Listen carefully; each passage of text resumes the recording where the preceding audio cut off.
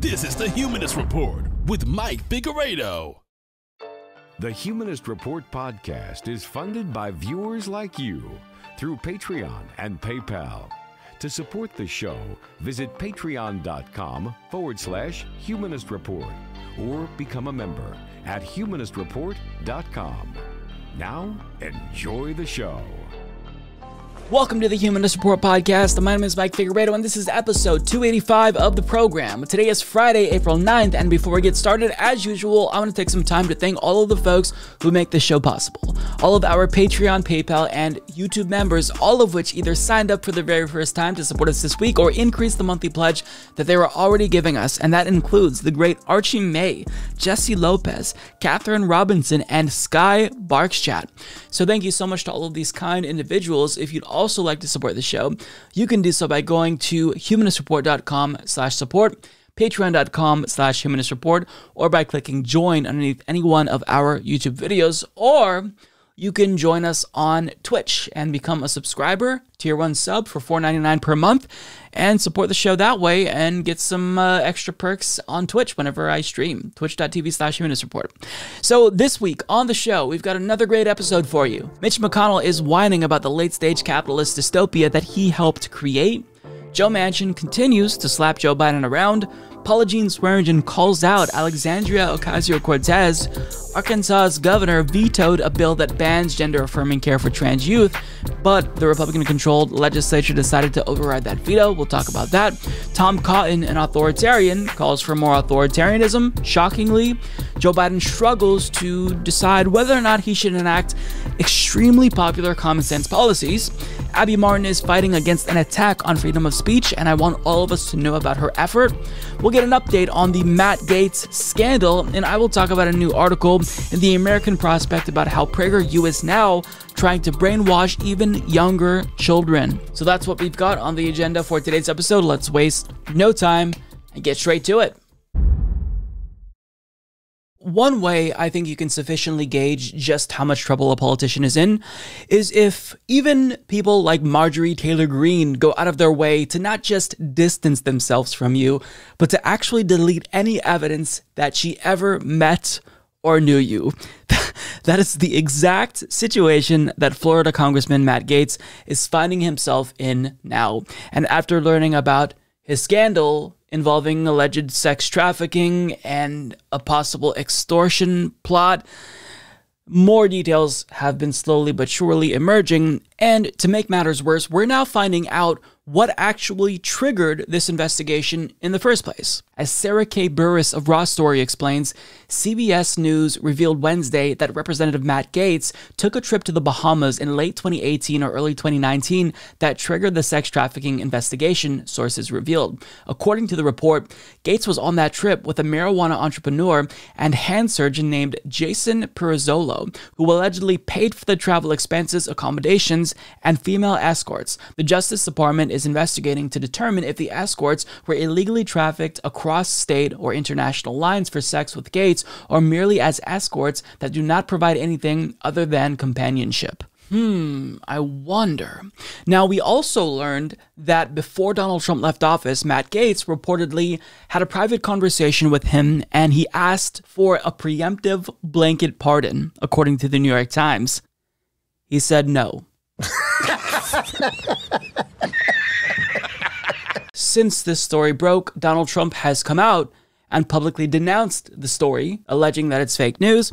And you know, since Donald Trump is usually a really truthful, honest actor, I think we can take him at his word that this totally was never a conversation that occurred. Except it's totally probably true, and I don't believe it for a second. Uh, I, I, think that Matt Gaetz is. Uh, he's not letting on to how much trouble he knew that he was in. And really, one thing that's telling about the situation is the fact that all of his usual allies aren't really speaking up on his defense. Usually, when there's a Republican politician in trouble, the Republicans' propaganda arm, Fox News, mobilizes and comes to his defense. But they haven't really said too much about this. I mean, they've covered it mostly in the first 24 hours when the story broke. But even Matt Gaetz' bestie at Fox News, Sean Hannity, has been nowhere to be found on this particular subject. And that really tells you a lot that uh, his closest allies, they know that this ship is sinking and they want to get off before it takes them down with it. So, as Eric Hananoki and Matt Gertz of Media Matters explains, Representative Matt Gaetz owes his political rise to Fox News. Politicians gain power in the modern GOP by grabbing and holding the attention of the base, and the easiest way to do that is through its most trusted media outlet. The Florida backbencher understands this structure and gained a national profile in his first two terms by fervently supporting Donald Trump and denouncing the former president's foes in near constant appearances on the right wing network. He also won the favor of Trump himself, who watches Fox regularly and appreciated the congressman's zeal. It seems, however, that Fox has now abandoned Gaetz at his moment of greatest need. Gaetz has been engulfed in scandal following the New York Times' March 30th report that he has been under federal investigation for alleged sex trafficking. The congressman has spent the last week denying that he had sex with a minor or paid women of legal age for sex, declining to comment on reports that he showed nude photos of women he claimed to have had sex with to other members on the House floor, and drawing lackluster defenses from colleagues speaking on the record and descriptions of cartoonishly scandalous behavior anonymously. But Fox devoted a mere 45 minutes to the Gaetz saga through Tuesday, and nearly three quarters of that coverage came in the first 24 hours, with the network providing sparse coverage of subsequent revelations. Perhaps the most notable absence from Gaetz' defense is primetime host Sean Hannity, even as Gaetz responded to the allegations by spinning the sort of convoluted tale of deep state conspiracy and right wing victimhood that seems tailor made for Hannity's program. The Fox star has seemingly left him for dead.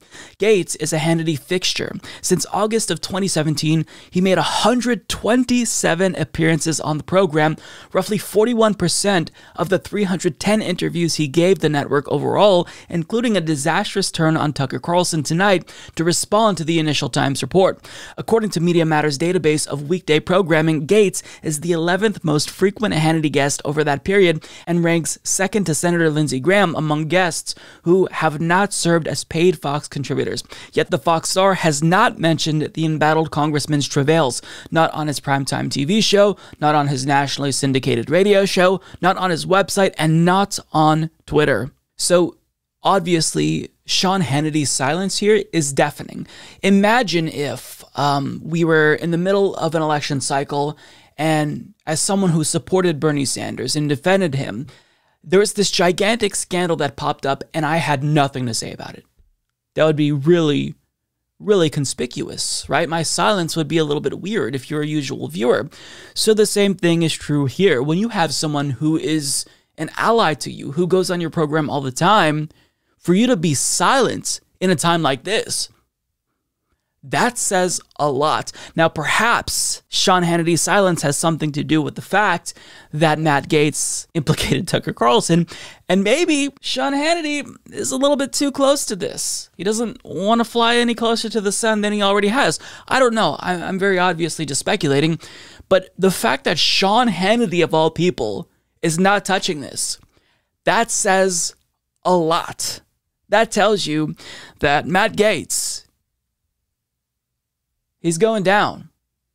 This is uh this is one of the many red flags. Uh, this is this is him, I think, realizing, Sean Hannity realizing that the writing is on the wall and it's best not to get too involved in this. Don't defend him if you think it might come back to bite you in the ass. And Republicans, they've they've always defended shitty people. How many Republicans defended Roy Moore, who was an alleged pedophile? But in this instance, for whatever reason, they are conspicuously silent for one of their best friends, Matt Gaetz. And that says a lot. That tells you everything you need to know that uh, there's more than they're letting on, and they know that this is a very, very serious scandal. But I mean, I think that we all know that Matt Gaetz should do the right thing. He should resign, and I'm going to take some time to fire off a tweet at him telling him how I feel. I'm sorry, but when even Marjorie Taylor Greene distances herself from you, you know you're in real trouble. So do the right thing and resign, Matt Gaetz, you absolute perverted cretin. Oh, misspelled cretin. Uh, I hope that Matt Gaetz gets the message. Um, anyways, this story is incredibly interesting, and uh, I am anxiously awaiting more and more details because this might be one of the biggest political scandals of the year.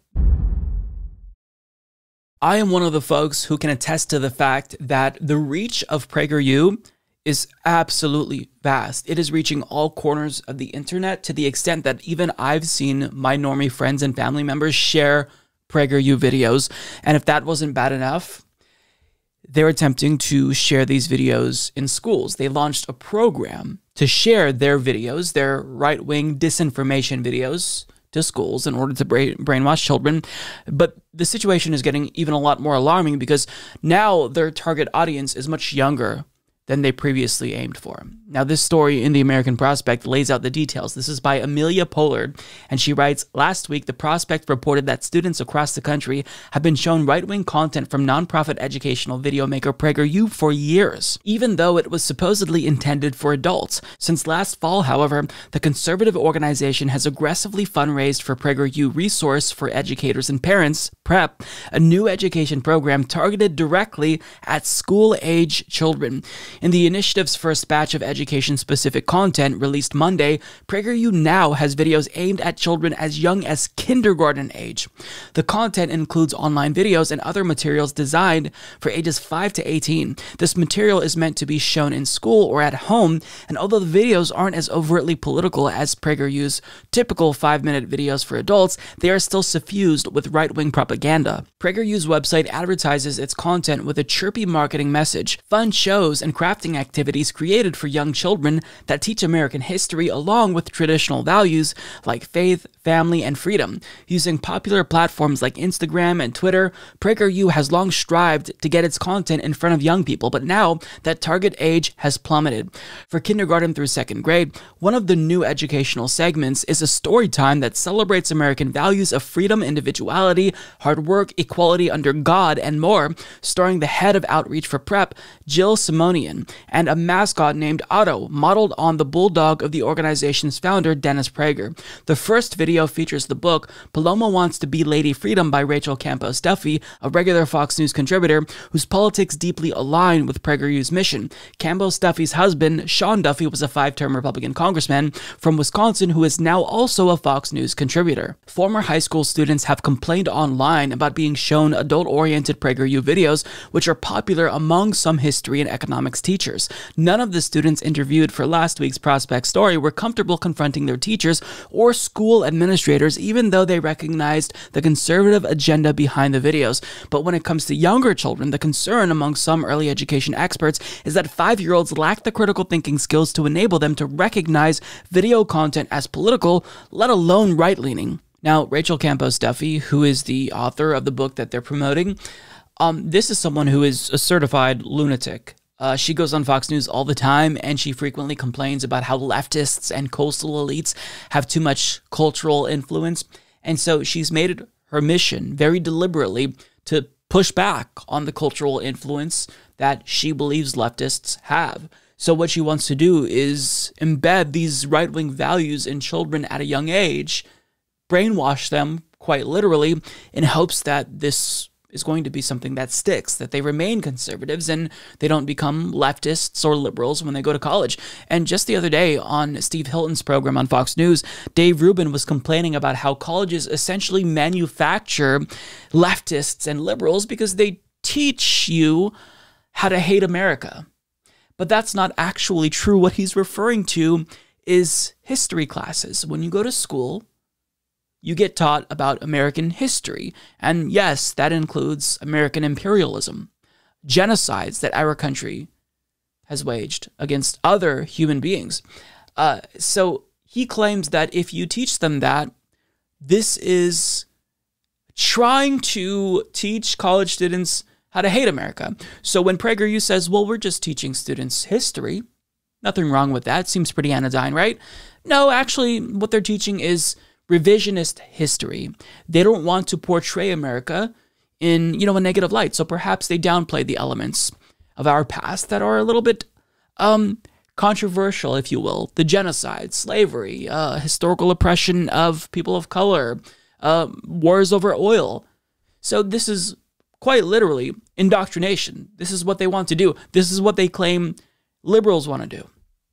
But uh, this is literally what they're doing and it has to be stopped. And really, the only way I think that you can sufficiently push back against PragerU is by supporting their main adversary, the Gravel Institute. So if you haven't already, subscribe to the Gravel Institute, and if you can, support them on Patreon because they've already had a phenomenal uh, reach. They've been able to kind of compete with PragerU, even though they just got started.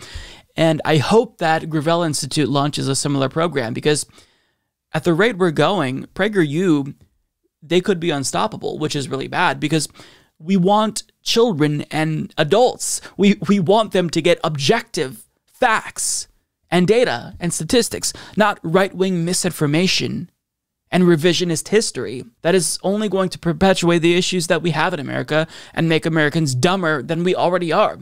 So, this absolutely has to be stopped.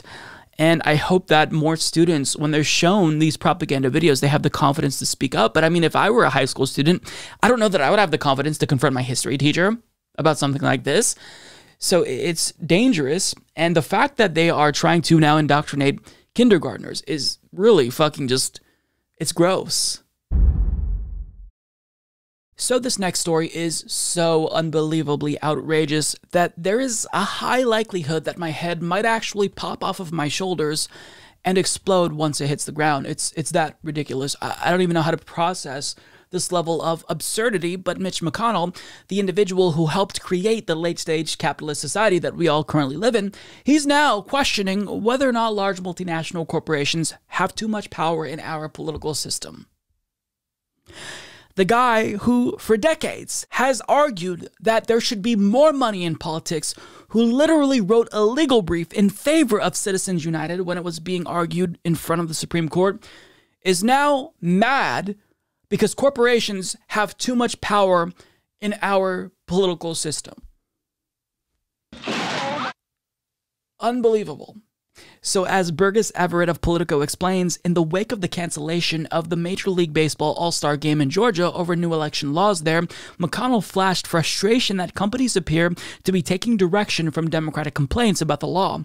Our private sector must stop taking cues from the outrage industrial complex. Americans do not need or want big business to amplify disinformation or react to every manufactured controversy with frantic left wing signaling, McConnell said in a lengthy statement on Monday. Corporations will invite serious consequences if they become a vehicle for far left mobs to hijack our country from outside the constitutional order. The cozy relationship between Republicans and business is no secret in Washington.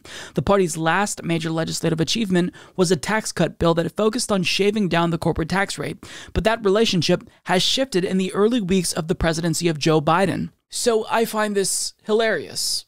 And when I say hilarious, I mean insufferable because he's pretending as if he doesn't know the way that large multinational corporations operate. And in the article, they quote him as saying that they're being woke and that the problem with them is that they're too woke. I think that someone who's a capitalist knows the way that corporations operate. These large corporations, they don't have a cohesive political ideology. Every action that they take is going to be a way that they increase their profits. So when they donate to politicians in both parties, it's not because they think that Democrats and Republicans have really stellar ideas and they want to support these politicians out of the goodness of their hearts.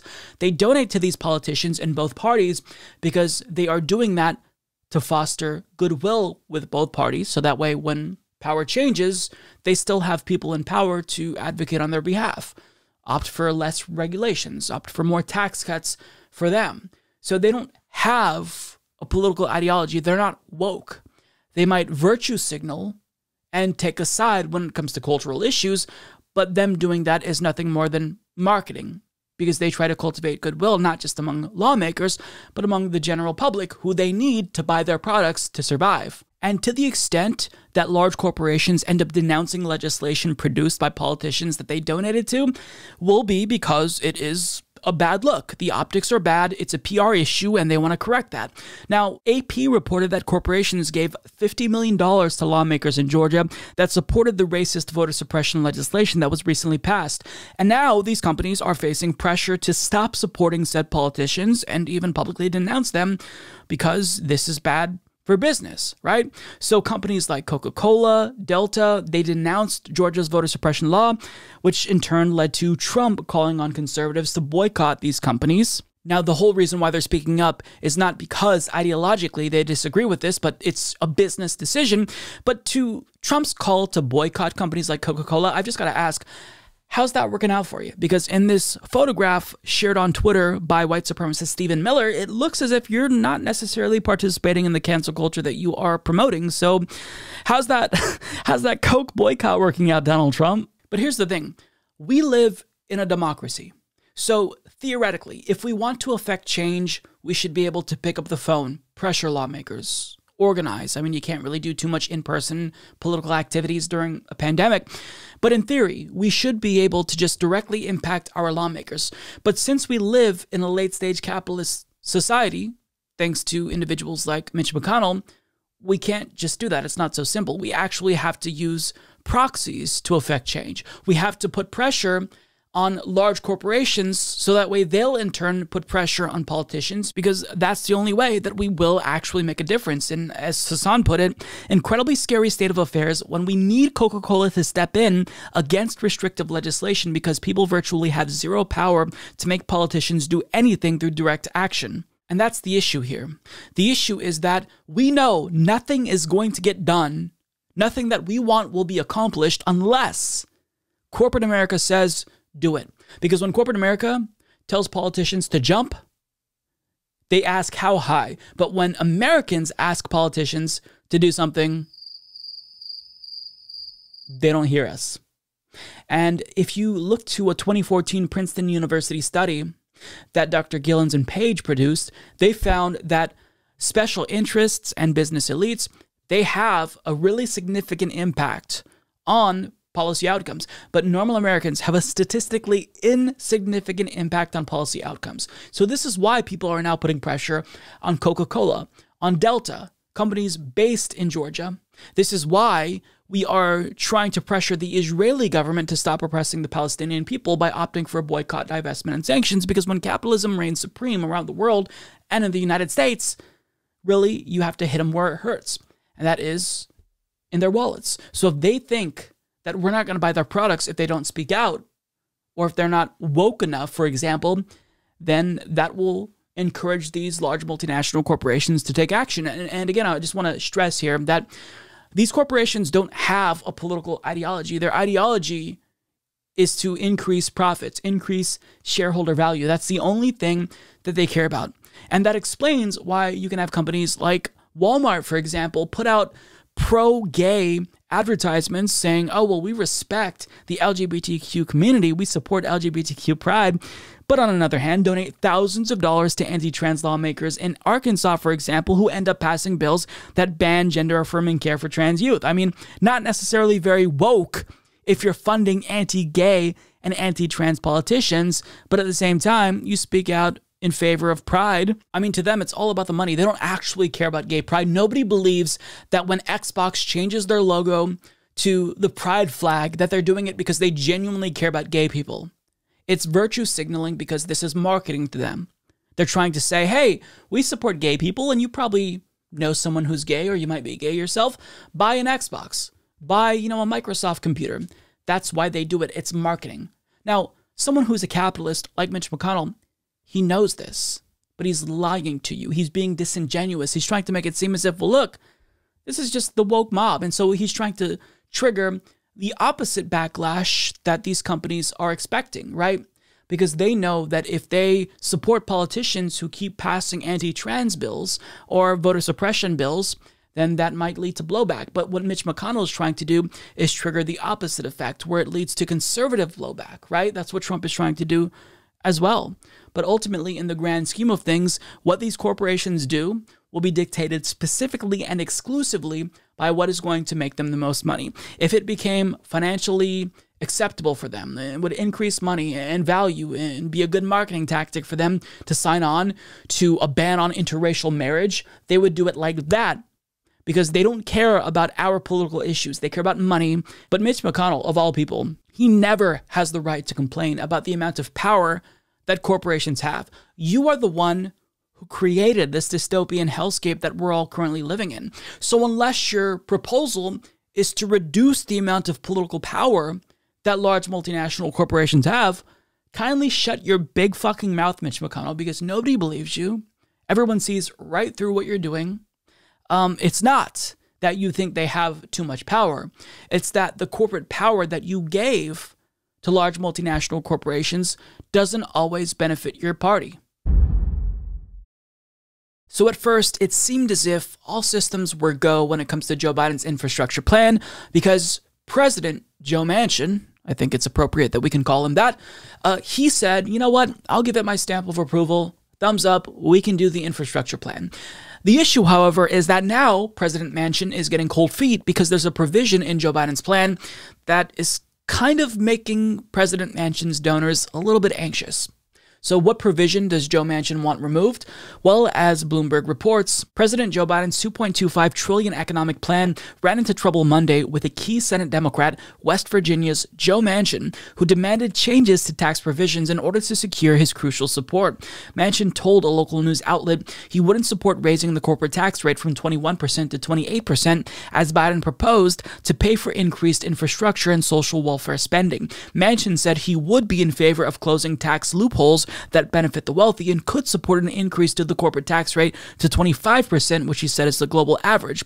Quote, if I don't vote to get on it, it's not going anywhere, Manchin said. It's more than just me. There are six or seven other Democrats that feel strongly about this. We have to be competitive and we are not going to throw caution to the wind. This whole thing has got to change, he said. Okay, so immediately there's two things that I want to point out.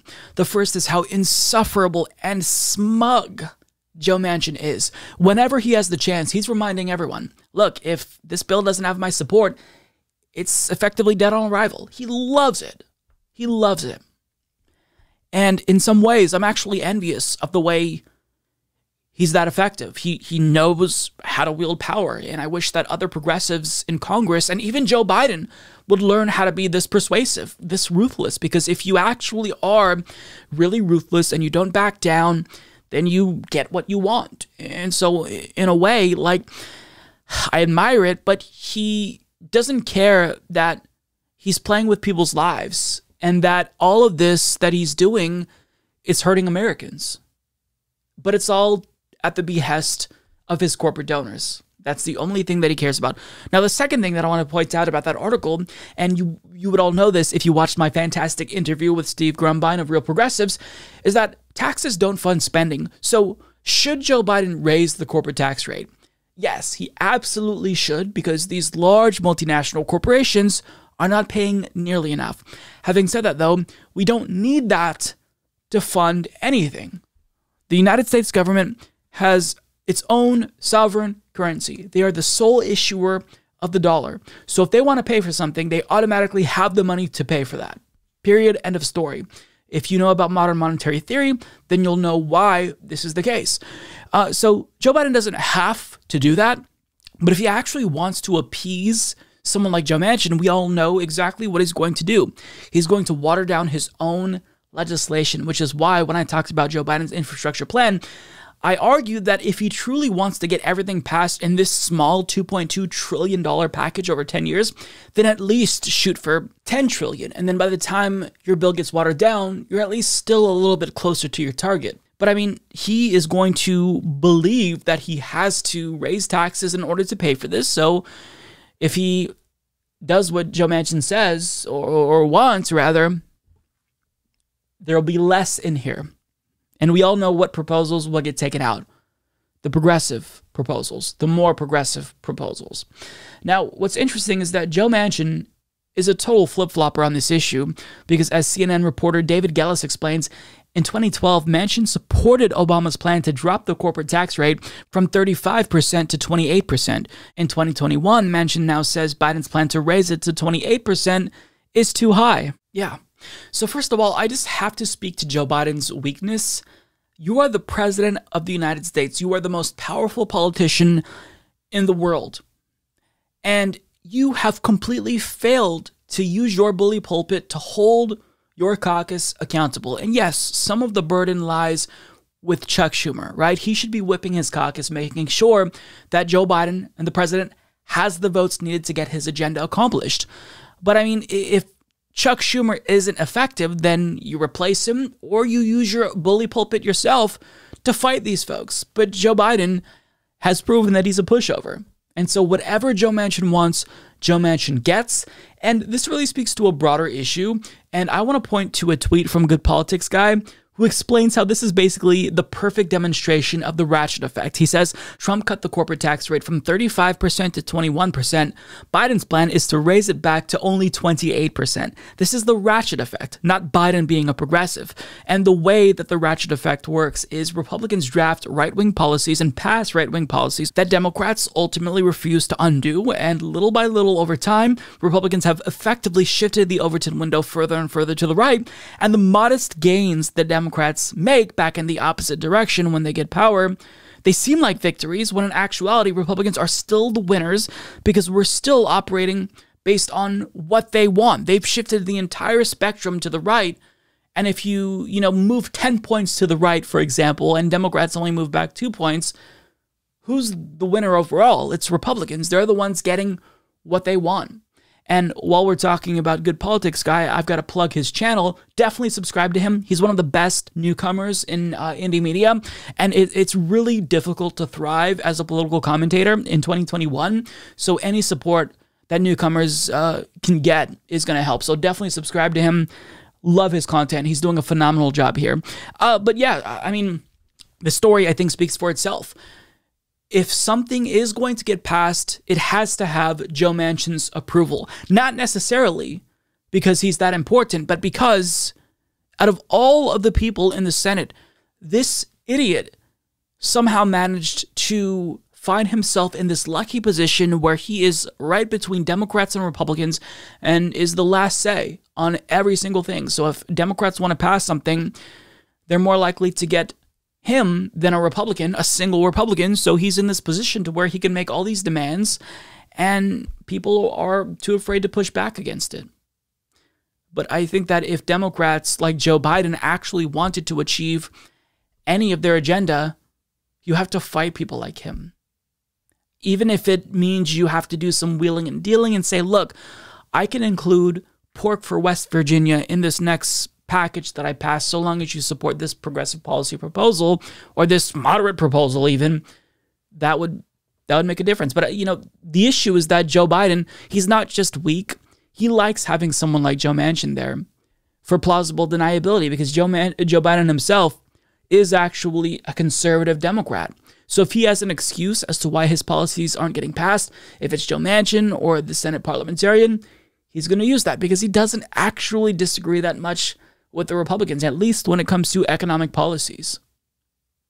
So, I mean, I'll leave that there. It's deeply frustrating that one of the dumbest members of the US Senate, Joe Manchin, is in this position of immense power and influence. It's just frustrating. And in spite of the Democrats' narrow majority, I promise you it doesn't actually have to be this way.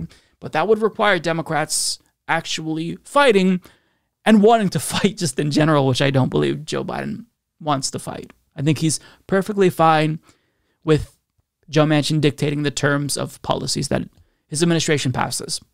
Yeah. So, I want to talk about an article recently published by Politico about Representative Alexandria Ocasio Cortez because she did something that really angered a lot of leftists, and I think rightfully so. Now, the more perplexing element about this story is that the thing that she did simultaneously pissed off both moderate Democrats and leftists, which is interesting. Having said that, though, I, I, do think it's important that we address this.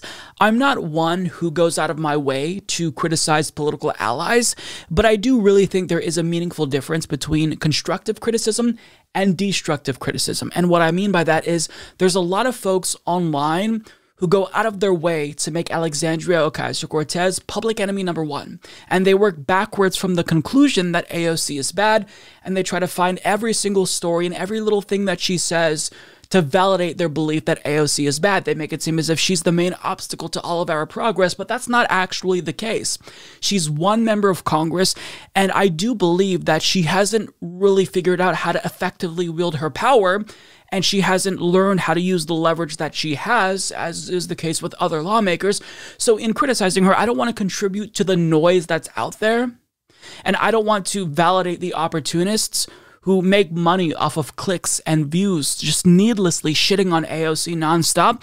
But I do think it is important that someone who is a good faith actor addresses this and explains to AOC, if she manages to see this, why the strategy isn't going to be conducive to success on the left. I don't think that she's a sellout. I don't think that she's ill intentioned, but what she's doing very clearly isn't going to help her or the leftist movement. So, to give you some background, basically every member of Congress is expected to pay dues into the DCCC, which is the election arm of the Democratic Party. AOC doesn't pay her dues. She refuses to pay her dues because she believes that the DCCC is not fair to progressives. I mean, they've previously blacklisted vendors who work with progressive primary challengers, so she's right to not pay dues.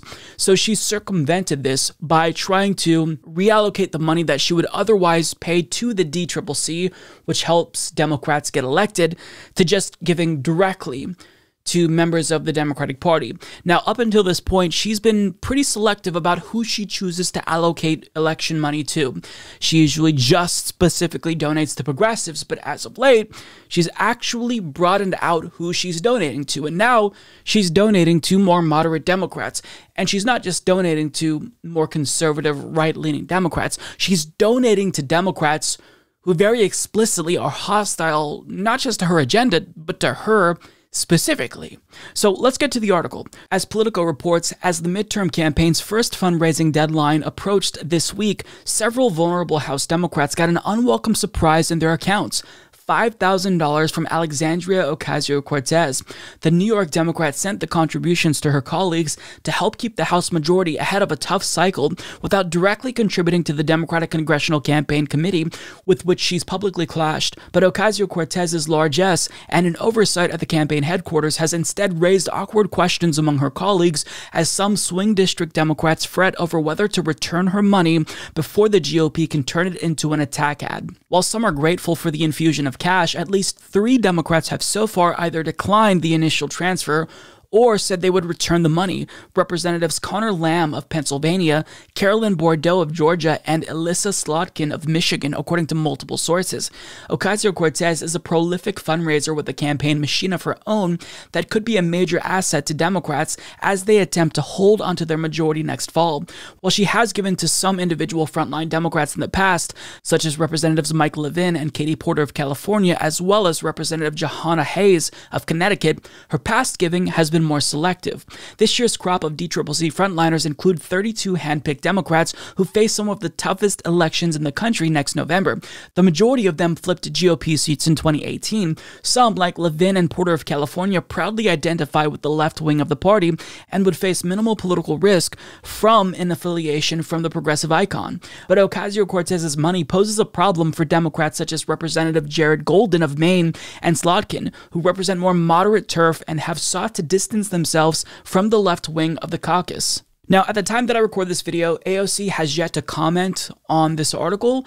I'd imagine that she'd say, look, this isn't necessarily about their policies. This is just about me trying to make sure I do my part to keep the Democratic majority as we head into the 2022 midterm elections. Um, also, she could say, look, I know that they don't agree with me on most things, but this is me extending an olive branch to them. Perhaps if I donate $5,000 to them, they might either support something that I'm pushing or maybe they just might stop criticizing me.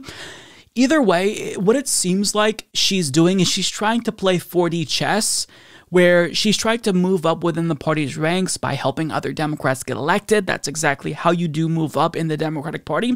The issue that I have with this, however, is that if you truly want to enact a transformative progressive agenda, you can't just try to move up within the system itself once you're inside. As an insider, you have to dismantle the existing structures, the existing establishment from within, not play patty cake with corporate Democrats who absolutely want nothing to do with you. And they hate her so much that they're rejecting the money, some of them are, and they're publicly denouncing this donation. But someone like Conor Lamb, like donating to this individual, is unjustifiable Because while he may be better than some Republicans, he's pretty comparable to them, and you're literally funding someone with money from progressives who is antagonistic towards your agenda. Conor Lamb just attacked members of the squad. He claimed that people like AOC put the Democratic Party's majority at risk, and when it comes to leftist policies like the Green New Deal and Medicare for All, he lied about them and said that they're, quote, unworkable and extremely unpopular, which is an outright fabrication. I mean, when it comes to Elissa Slotkin, she came out strongly against Medicare for All and she said, I think for me, the most important thing is that the American way of life is choice and competition. I mean, because that's certainly working out for us currently. So the issue with this is that AOC is giving money to Democrats. She's helping to elect Democrats that are going to, in turn, fight against the agenda that she's pushing. And the worst part about this is that she's doing this with money that she's using from progressives. If progressives wanted their money to go to Conor Lamb, they would just donate to Conor Lamb. But since they don't want that to happen, you can see why they're angry. You can see why it feels as if they think they were betrayed because you're taking this money and you're justifying it, uh, giving it to Democrats, justifying it by saying, well, I'm helping to enact a Democrat majority because if we lose the majority, then everything's off the table. But I mean, it's even more difficult to justify that if with a Democratic majority currently, you're not using the power that you have to push for more progressive legislation. I mean, it's not just AOC. Ilhan Omar, Bernie Sanders, they were touting Biden's COVID relief package as like one of the most progressive pieces of legislation in modern history. We passed the most significant piece of emergency legislation, which, among other things, will cut childhood poverty in half. The you know American Rescue Plan um, is deemed to be the most progressive uh, policy in decades. But that's not a victory for the left. It was a victory for centrist Democrats you lost. You tried to get a minimum wage of $15 an hour in that bill, but that didn't happen. So you can say that, you know, sure, there's some good things in that legislation, but to tout their victory as your own, that's a little bit disingenuous. Like I want you to actually fight. And sure, you can you can critique the Biden administration. AOC is phenomenal at doing that. You can uh, you know speak to the issues within the system itself, but if you don't actually go to war with the Democratic establishment and fight other Democrats, then you're not going to be very effective. So, to fund Democrats who are going to in turn fight against you and fight to, you know, dismantle all of the progress that we've made in building public support for Medicare for all, I don't think that this is smart politics at all. In fact, I think it's terrible politics. And someone who knows AOC very personally, Paula Jean Swearengin, tends to agree. She says, This is not what we supported when we started. Pretty sure AOC is batting for what the party wanted her to do, not what will help to pass policies we need. I'm highly disappointed with my colleague and I won't align myself with her anymore. Now, I'm not going to go as far as Paula Jean. I'm not going to say I won't align myself with her anymore because I think that if we want to get progressive policies enacted and have any chance whatsoever, then we have to rely on progressives in Congress. But the point that Paula Jean is making is that this move to try to play patty cake with members of the Democratic Party establishment and even trying to help moderate Democrats get elected. I get that you think this is going to help you win over Democrats, but they're never going to like you so long as you will truly support the agenda that goes against what their donors want. And you see an issue here with AOC's strategy is that it is reminiscent of Elizabeth Warren's 2020 presidential campaign strategy in that she wasn't necessarily trying to go against the Democratic Party establishment and Democratic Party leadership. She was trying to build support within the establishment, which is something that I critiqued because if you actually want to make progress, they are the obstacles that stand in your way. So you have to actually treat them like the enemies that they are. So, what AOC is doing here, I'd love to hear her try to justify this and explain why she's doing this. Again, I can anticipate her saying, well, this isn't about me, it's just about the Democratic majority. But this isn't going to get them to like you. And even if we secure a Democratic majority in 2022, you haven't fully justified using progressive money to fund conservatives, especially considering that having a Democratic majority hasn't really paid off as far as the left is concerned. Sure, Biden is handling COVID better. We got the $1,400 relief checks instead of the $2,000. But in terms of like what the left is able to accomplish with the Democratic majority, you guys haven't put up anything yet.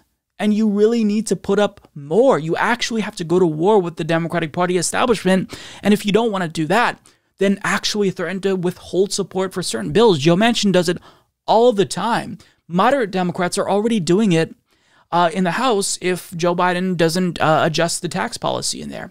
So it's just, it's really frustrating. And I think that what she's trying to do here, it's just unjustifiable. And again, I hesitate to criticize AOC too hard because I don't want to join the chorus of people on the left who's just trying to tear her down because I think that that's counterproductive. But I think that this is one of those times where what she's doing isn't just making the left less effective. It's actually hurting the leftist cause. And if she doesn't hear from good faith actors, if she doesn't hear from leftists about why this is problematic and why this is something that a leftist politician should never do, then she's going to be more inclined to just disregard all criticism because she's just going to think, well, it's just from my usual haters who are always shitting on me. So I'm just going to ignore everyone and just try to do what I think is best. But we need to hold them accountable. We hold them accountable and get them to do what we want. And they're not always going to listen to us.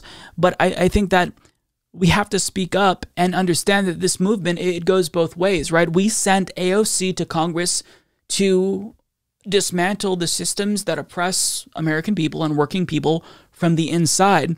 And so if she thinks she has to try to move up the ranks within the party, that's a misguided approach because you're not going to dismantle it from inside. You're not going to dismantle the establishment from the inside if you're literally propping up the establishment itself and just doing exactly what they want you to do. And understand, I, I get that these payments are in lieu to her giving the DCCC contributions, which she should not pay her dues to the DCCC. Uh, but you can't justify it by saying, well, the money would be going to conservative Democrats anyway if she just gave it to the DCCC, or, yeah, but I mean, Conor Lamb is bad, but he's better than Republicans. I don't think these are justifiable reasons to give money to people who are antithetical or, or who stand for everything that's, you know, antithetical to what you believe in. So I think that this ain't it. And the criticism that she's uh, receiving in this instance is absolutely warranted. And I hope that she listens and has a change of heart because her strategy of trying to butter up Nancy Pelosi and the Democratic establishment, it hasn't paid off. And unless it pays off really, really soon, I think it's time for her to reevaluate her strategy in Congress because this isn't working. If she wants to be effective, you can't play nice with the establishment. You actually have to fight. And if she fights, she has millions of leftists in her corner who will go to bat for her. But doing it this way, this just, this ain't it, Chief. Last week on the program, we talked about a bill that the Republican controlled legislature in Arkansas passed that would ban gender affirming care for transgender youth, something that would be absolutely detrimental to the well being of young transgender people because this is a group that isn't just more susceptible to bullying, and this would further make them a target, but they're also highly statistically likely to attempt suicide or contemplate suicide, much more so than their cisgender peers. So all this would do was make their lives, which are already difficult, that much more hard. Uh, and it seemed very likely that the governor of Arkansas would sign this into law, given that he just recently signed a bill that would ban transgender high schoolers from participating in, in sports the unthinkable happened, actually. We got some unexpectedly good news.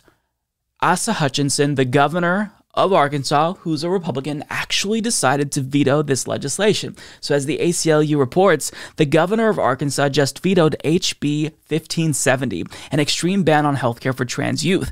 This victory belongs to trans youth in Arkansas and the parents and doctors that have come together to speak up. Now, upon vetoing this legislation, he explained his reasoning, and he says, I was told this week that the nation is looking at Arkansas because I have on my desk another bill passed by the General Assembly that is a product of the Cultural War war in America, Mr. Hutchinson said, and announcing his veto. I don't shy away from the battle when it is necessary and defensible, but the most recent action of the General Assembly, while well intended, is off course. Actually, it's not well intended. It goes against the advice of medical experts and scientists. Uh, having said that, though, I don't necessarily care what his reasoning is. Regardless, the fact that he vetoed this is exactly what um, I was hoping would happen. The bad news, however, is that that doesn't necessarily mean that this won't become law because there are other bills being considered currently in other legislatures controlled by Republicans. Alabama may be the next state to pass something like this. And even in Arkansas, the battle isn't necessarily over just yet, because as the New York Times explains, the Arkansas state legislature could override Mr. Hutchinson's veto of the bill known as HB 1570. Republicans hold large majorities in both chambers and passed the bill last month with mostly party line votes 70 to 22 in the House and 28 to 7 in the Senate. So if they want to, they could easily override his veto. And it seems as if that may very well be the case, although the fight continues. And I will say, um, the video that I put out last week is still super relevant because I don't just talk about the legislation in Arkansas, I explain specifically using the medical experts and scientific data that we have why these types of bills are absolutely detrimental to the well-being of trans people. But if you look at the comments on any video when uh, it, as it pertains to trans youth all you see is ignorance. Denial of science denial of the existence of transgender people. They say oh, oh there's no such thing as a young transgender person. Absolute nonsense and your ignorance if you are part of that is fueling these types of legislative efforts. Trans youth exist.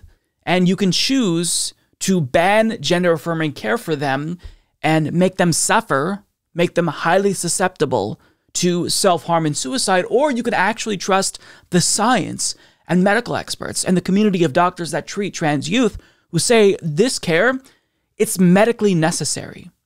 It's medically necessary, and puberty blockers are 100% reversible. So rather than trying to justify your bigotry with bad data and misinformation, actually listen to transgender people, get to know a trans person, and it might actually change your mind. You might actually uh, learn something. But you see, in America, what we usually do is we spend a lot of time demonizing one particular group of people. And even though we know that historically we're going to be frowned upon for the way that we're treating this group, we still do that anyway because ignorance and prejudice it's all it's just it's as american as apple pie right? I mean we just we just learned that anti-gay prejudice is immoral because a lot of people slowly but surely got to know gay people. They found out that their siblings and friends are gay. And so they realized okay they're not the boogeyman and boogie women that we were told.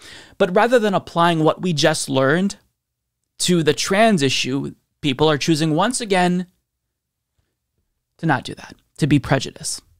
And as a result of people's unwillingness to learn and change and open their minds, guess who's suffering for that? Transgender Americans and disproportionately trans youth who are the targets of these types of legislative efforts. But I don't want to be too down because this is good news, but I don't want to celebrate too much because this could be a short lived victory. We just have to wait and see and continue to push back against these types of absolutely horrible, destructive pieces of legislation that we are going to continue to see around the country. So I was finally able to actually deliver you with some good news for a change, but unfortunately, uh, because we live in the United States of America and it is currently a dystopian hellscape, uh, any victory that we get, I'm just going to assume from now on that it's short lived. So, um, I'm of course referring to the situation in the state of Arkansas, where their GOP controlled legislature decided to pass the SAFE Act, which is a bill that bans gender affirming care for trans youth. Now, this is a bill that is completely anti science. It goes against the experts, it goes against the medical community and Academy of Pediatricians, because gender affirming care provided to trans youth isn't just something that improves their lives from a social standpoint because they can actually live as the gender that they identify as, but it's actually deemed medically necessary. So if we're trusting the experts and the scientists, then this bill is absolute rubbish. And because there was so much backlash, the Republican governor actually decided, surprisingly, to veto this bill. But because Republicans have so much power in the state of Arkansas, they actually had the votes to easily override his veto. And that's exactly what they decided to do. So now it is the case that this bill is going to become law and it will be enacted this summer. And gender uh, affirming care for trans youth will literally be criminalized. So, as Andrew DeMillo of AP reports, Arkansas lawmakers on Tuesday made the state the first to ban gender confirming treatments and surgery for transgender youth, enacting the prohibition over the governor's objections. The Republican controlled House and Senate voted to override GOP Governor Asa Hutchinson's veto of the measure, which prohibits doctors from providing gender confirming hormone treatment, puberty blockers, or surgery to anyone under 18 years old, or from referring them to other providers for the treatment. Opponents of the measure have vowed to sue to block the ban before it takes takes effect this summer. Hutchinson vetoed the bill Monday following pleas from pediatricians, social workers, and the parents of transgender youth who said the measure would harm a community already at risk for depression and suicide. The ban was opposed by several medical and child welfare groups, including the American Academy of Pediatrics. This legislation perpetuates the very things we know are harmful to trans youth, Dr. Robert Garofalo, division head of adolescent and young adult medicine at Lurie Children's Hospital in Chicago, told reporters on a press conference call held by the Human Rights Campaign. They're not just anti trans, they're anti science, they're anti public health. The bill's sponsor dismissed opposition from medical groups and compared the restriction to other limits the state places on minors, such as prohibiting them from drinking. Yeah, so that very obviously is a false equivalence by someone who is a bad faith actor and ignorant who's trying to justify his bill, which is very inevitably going to increase the rate of self harm and suicide among trans youth. And the blood is on his hands for this. And what I would call this is child abuse. They're trying to argue that if you allow children to transition socially and you give them puberty blockers, that's child abuse. But in actuality, what they're doing, this is child abuse. It's comparable to the conversion therapy clinics that we used to send gay children to. And, and some states still allow this to take place. It's banned in certain states, but now we're seeing as a society collectively that we should allow children and allow individuals to just be who they want to be because it doesn't hurt anyone. Now, what they're trying to do here is concern troll about trans youth. They purport to care that young people, you know, they're too young to be making this decision. Nobody knows if they're truly transgender or non binary at a young age. So, what this is going to allow, if we actually do allow them, to uh, get gender affirming care is they're going to transition when they're 16 and then when they're 30 35 they're going to regret that decision. Except that's not actually what happens. That's ignorance. Studies long-term studies of trans youth where the researchers will follow them uh, when they're children all the way until they're adults have found that the rate of regret is extremely extremely low. Some studies show that there is a 0% rate of regret and here's the thing if you truly are concerned that trans people are transitioning too young, first of all, trans children cannot get bottom surgery. You can't actually get that. And second of all, they're not doing this willy nilly. It's not like, you know, parents are super hyper woke and they're forcing their kids to transition. Children at a young age, as they develop, if you give them puberty blockers, that further enables them to make a decision. It allows them a little bit more time to decide who they are. So if you're worried about regret, then banning puberty blockers is something that you should be against because puberty blockers gives them more time to decide who they are. And again, I want you to understand that it's not like these kids are completely just choosing on a whim to be transgender because of social pressure and it's cool now. These children are bullied. They hate themselves. Statistically more likely than their cisgender peers to not only contemplate suicide, but attempt suicide. This is a public health crisis. And what you just did in the state of Arkansas made all of that more likely. You exacerbated a problem that already existed. You just made it 10 times worse. It's just um, morally reprehensible, and it's especially gross that they're doing this under the guise of protecting trans youth, and they're calling it the SAFE Act. If you actually want to protect trans youth, then perhaps listen to medical experts and the scientific community. Kids themselves aren't just choosing to have bottom and top surgery and take hormones. That's not what's happening. They are working in concert with their parents and doctors, medical experts who have studied this for years to make a determination about what's best for them. So to just outright criminalize gender affirming care, this will do untold damage. And the sad part is that we're not going to realize the amount of damage this causes until years down the road. People like me are saying now this is going to lead to damage, but they're not going to listen. They're going to ignore this. And same thing like, you know, um, the uh, conversion therapy clinics, years down the line, they'll look back at this and they'll say, oh, okay, well, maybe that is a bad thing. Maybe we made a mistake. I mean, again, I'll make the same point that I made yesterday.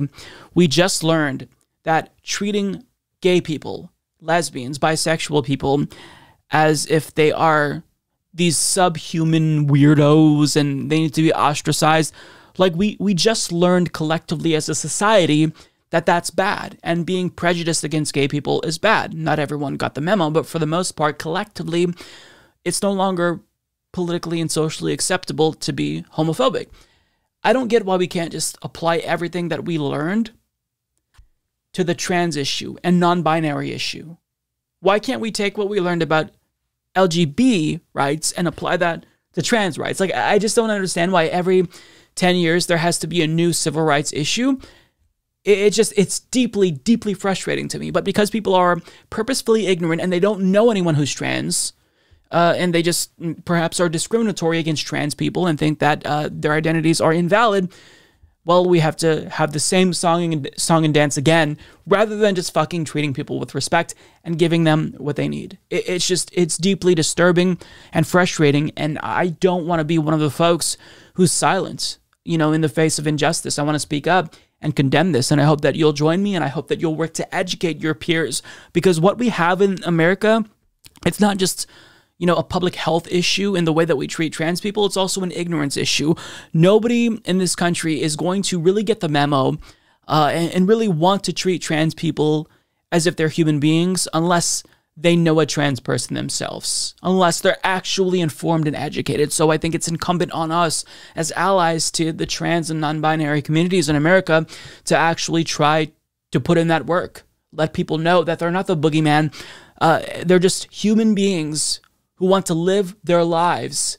And like finding out you're gay, you, you usually do so at a very young age. The same is true for trans people. I knew that I was gay probably when I was like five years old. And the same is true for trans youth. And by choosing to erase their identities, erase their experience, and just superimpose what you think is best for them under the guise of protecting them, that's pretty fucking disgusting. And I hope that this gets defeated. Uh, this is absolutely just it's despicable. I don't know what else to say about it. It's gross. Arkansas Senator Tom Cotton once again is fearmongering, and this time he is concerned trolling about a spike in crime. Specifically, he shared an article from CNN that states that the homicide rate in the United States has increased by 33%. Now, the article itself doesn't necessarily state what causal factor is leading to an increase in homicide rates. It speculates that it could be the pandemic or an increase in gun crimes, but regardless, Tom Cotton knows the solution to this problem. He tweeted out, We have a major under incarceration problem in America, and it's only getting worse. So the answer to this increase in crime is to just jail more people. Yes, because that's worked out so well for us up until this point. Now, before I actually get to the responses to Tom Cotton, because he was ratioed into oblivion, I just want to take some time to remind you that Tom Cotton is a fascist and an authoritarian. When Donald Trump signed the First Step Act into law, which is a criminal justice reform bill, it doesn't nearly go far enough, but it's a step in the right direction. Tom Cotton actually criticized Donald Trump for signing that bill into law, saying it was too lenient. So let's put things into perspective. Tom Cotton is to the right of a far right president when it comes to restorative justice. And on top of that, I'm sure that you'll all recall that just last year he wrote an op ed for the New York Times where he called on then President Donald Trump to invoke the Insurrection Act to violently shut down Black Lives Matter protests. So if Tom Cotton had his way, we would be living in a fascist authoritarian police state. That's what he wants. Time after time, he's indicated that that's exactly what he wants to see. So I think that we should take him at his word. When he tells us who he is, we should believe him. He's a fascist. He's an authoritarian. Now, um, I do want to share some of the responses to this because it didn't take much effort for the internet to completely dismantle his arguments with facts and logic. So, one person shared a comparison of prison population rates, and obviously, this shows that the United States jails far more people than the next biggest jailers combined. Now, this person pointed out how, looking specifically at Arkansas, Tom Cotton's home state, Arkansas has one of the highest rates of incarceration in America and actually has a higher incarceration rate per capita than many countries, believe it or not. So the issue is that we have an incarceration problem in America, not that we have an under incarceration problem. And just applying a one size fits all solution to crime I mean, by now we should have learned our lesson, right? And I also don't have to tell you that in the event, let's say hypothetically speaking, there was this wave of hysteria over an increase in the crime rates because of fearmongers like uh, Tom Cotton, who would be the most affected by that? We all know disproportionately black and brown people would be jailed at higher rates than white people. It's already the case that black and brown Americans are more likely to be locked up than whites. They receive longer sentences than their white peers for the same crimes, and they're also far more likely to be arrested for drug use, even though they're as likely as their white peers to use drugs at the same rates. And part of the reason why they get locked up at a higher rates than white people for the same crimes is because black and brown neighborhoods are policed more so than white neighborhoods. In fact, black and brown neighborhoods are over policed. But the thing is that this isn't a flaw in our criminal justice system. It's not some unintended consequence that we're only finding out about. This is a feature of our criminal justice system. Our criminal justice system is explicitly white supremacist. But here's the thing Tom Cotton may be a fascist, he may be an authoritarian, but he's aware of this. He knows this. And that's the point, I think. I think he wants more black and brown people to be arrested, which is why many people pointed out the fact that him saying we need to jail more people is a racist dog whistle because he knows what's going to happen if he gets his way. More black and brown people will be jailed. Now, in spite of the occasional spikes in crime, the overall trends tell you a completely different story. So, since the 1990s, violent crime and property crime has actually decreased substantially. Now, the homicide rate has also been historically low, although the CNN article does say that it increased by 33%. But if he read the article that he shared, there's a number of reasons that they state this may be the case. They can't find any one causal mechanism, but one of the contributing factors that they lay out is gun violence. Now, we all know that Tom Cotton doesn't actually want to do anything about gun violence. He doesn't want any background checks. He doesn't want any legislation whatsoever that might curtail gun ownership, even for people who very clearly should not have guns. So, uh, I don't think we're going to get a response about that. Additionally, uh, they also argue in this article that perhaps the pandemic exacerbated existing social issues and economic issues, and that could have contributed to the spike. Although, again, this is all just speculation. And the article also speculates that another reason why we may have seen an increase in crime is because police departments had to reallocate resources and personnel to the Black Lives Matter protests last year. And, you know, that took time away from them policing high crime areas. And also, since there's so many, you know, defund the police efforts, police morale is low. And on top of that, if we're defunding police departments, then obviously they can't do their job as effectively, and that's leading to an increase in crime. Now, that particular portion of this article is complete horseshit because in order to uh, speculate about whether or not defund the police or Black Lives Matter protests were uh, responsible for an increase in crime, they just cite police commissioners and police departments verbatim. Okay, not the most uh, persuasive hypothesis. Nonetheless, the point of the article is that homicide rates are up and crime overall has increased, but we don't necessarily know what the cause of this is. And furthermore, historically speaking, in comparison to the 70s and the 80s, crime is still low overall. But what Tom Cotton is doing is trying to use this article as a justification to further crack down on Americans specifically black and brown Americans. And I mean, this is him stating fully and intentionally that he wants to live in a police state. It's already the case that the United States of America is basically a police state when you look at how many people we jail in comparison with other developed nations. I would be ashamed if I was a US senator at these statistics. I would be ashamed that my country, a supposed democracy, jails so many people and that we haven't immediately changed our criminal justice system as a result of this embarrassment as a result of historic racism in this country. But he's proud of it and he thinks we should go further. If that doesn't tell you everything that you need to know about Tom Cotton, then uh, I don't know what to say. The man is a fascist and an authoritarian, and he is exponentially worse than Donald Trump, and we should never allow him to get anywhere near a higher position of power. Because if he had his way again, America would be far worse than it is right now.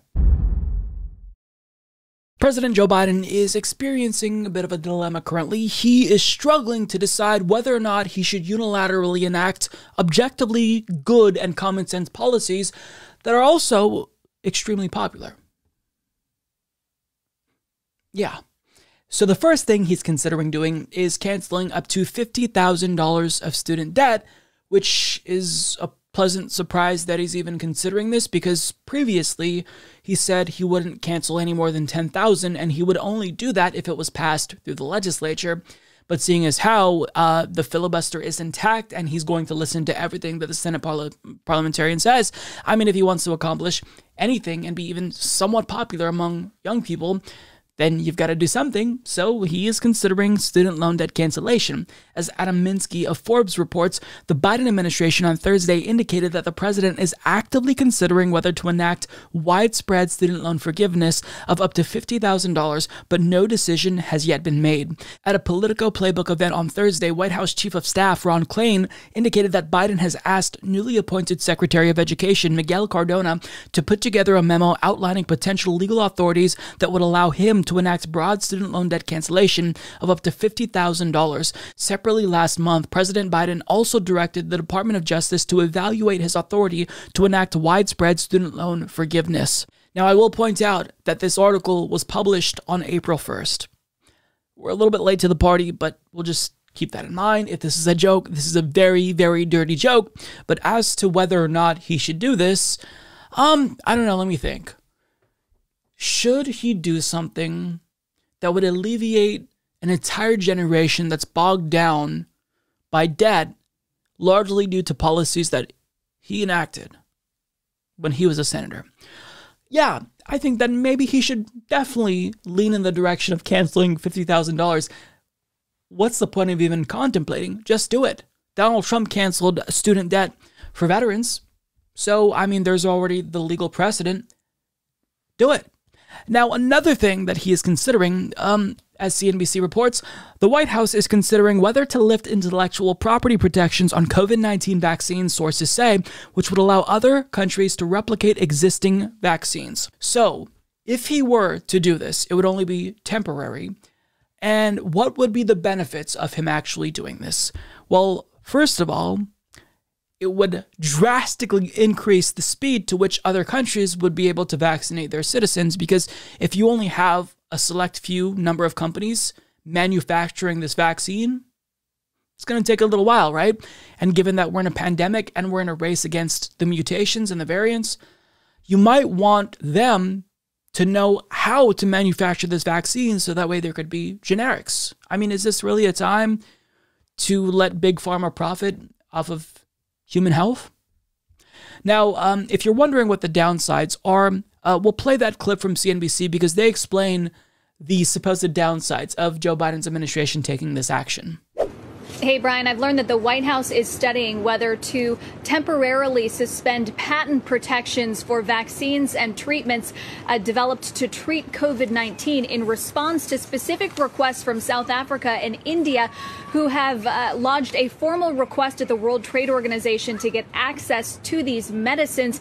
And so far, the issue has been tabled on a global scale, but now I've learned that it's risen to the highest levels within the Biden administration, according to three sources familiar with the matter. As recently as Monday of this week, a meeting of deputy level policymakers convened to discuss the issue, but I'm told by my sources that no decision was reached. Although privately, House Speaker Nancy Pelosi, uh, many of the members of her caucus have supported this move behind the scenes, that she has sent a private letter to the White House expressing her own support uh, for pursuing such a move. You can imagine there is fierce debate on either side of this discussion. On one hand, pharmaceutical companies say that this would compromise medical innovation uh, in the future. On the other hand, you have many developing nations who say uh, that they would like access to these medicines, and they argue that wealthier nations are essentially hoarding these medicines that they've developed. Uh, in the words of one source who's familiar with some of the support among progressive lawmakers here in the U.S., they say uh, we're not all safe until everyone is safe. Brian, we should note I just got a statement in from the Office of the U.S. Trade Representative who will have jurisdiction over this issue and who I believe will make the final decision.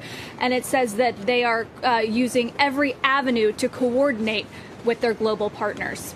Back to you. Okay, so I kind of get the dilemma here. On one hand, we need the pandemic to go away and we need countries to be able to rapidly vaccinate their populations. But on another hand, these pharmaceutical companies who stand to make billions of dollars by being the exclusive manufacturers of the COVID vaccines say that uh, this will compromise medical innovation.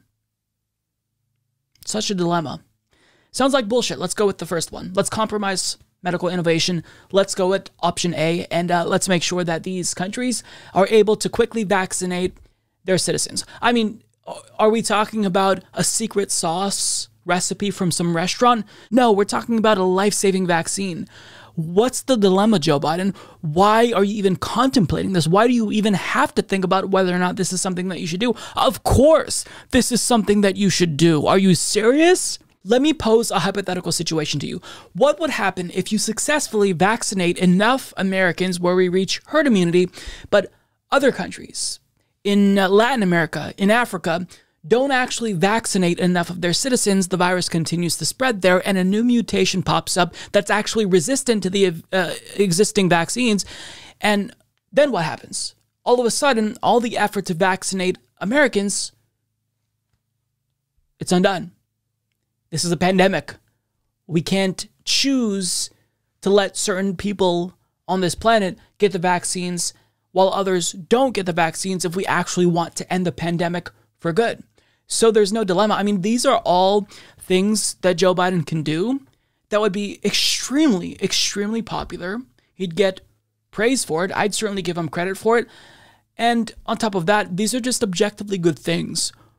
Why why the back and forth? Why the deliberation? Just fucking do it. I mean, this shouldn't be something that you take years agonizing over. Oh my God, should I cancel $50,000 in student debt? Do I have the legal authority to do? Yes! Just do it.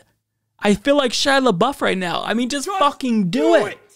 It. This isn't an issue when it comes to lifting the uh, intellectual property protections for the coronavirus vaccine?